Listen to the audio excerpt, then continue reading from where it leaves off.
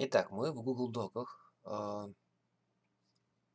если есть права на редактирование, они есть у всех, в частности, и у вас, Мария, то вы можете вставить картинку в виде insert image.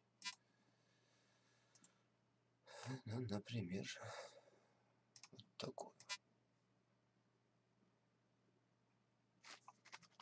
Собственно, не должно быть проблем.